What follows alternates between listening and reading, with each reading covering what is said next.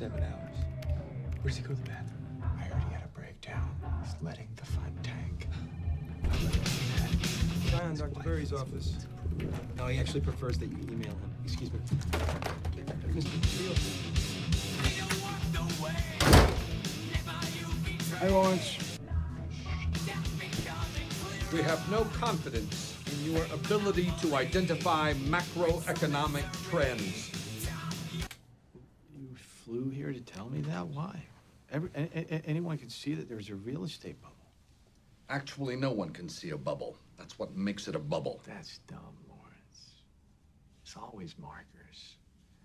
Mortgage fraud was quintupled since 2000, and the average take-home pay is flat, but home prices are soaring. That means the homes are debt, not assets. So Mike Burry of San Jose, a guy who gets his hair cut at Supercuts and doesn't wear shoes, knows more than Alan Greenspan and Hank Paulson. Oh, yeah, yeah, Dr. Mike Burry, yes, he does. That's cute. That's cute. Are you being sarcastic with us, Mike? Lawrence, I don't know how to be sarcastic. I don't know how to be funny. I don't know how to work people. I, I just know how to read numbers. How big's your short position right now? Uh, just the 1.3 billion. And the premiums? Well, we pay uh, roughly 80 to 90 million each year, which is high, but I was the first to do this trade. Watch, it will pay. I, I may have been early, but I'm not wrong. It's the same thing. It's the same thing, Mike. You're managing a fund of, what, 555 million? In six years, it'll all be gone. On one bet. No, no, no, the second quarter of 07 is when the adjustable rates kick in and the defaults will skyrocket. Yeah, s- says you. How much is eligible for withdrawal before they do, say in the next two quarters? If your investors panic. 302 I- My God, Mike.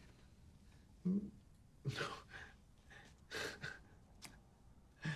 one will pull out. That would be suicide. I mean, I'm down 17% for the year, but if they trust me and they trust me because No I've one performed- Trusts you. I, I No one. several emails to my investors letting them know that the the, the second quarter of 07 is when our housing positions show returns, and uh, um, I've been very clear. People will withdraw their money. Lawrence, that would be so stupid. I mean, the, the, if, if, if, if, if the fund's capitals drop too much, then the swap's contracts are voided, and then the banks uh, get to keep all of the collateral. Wait a minute. Wait. All of it. What? The contracts are voided? The contracts are voided? Holy shit! Oh, motherfucker! Michael, give me my money back. Michael, do you hear me? I want my money back.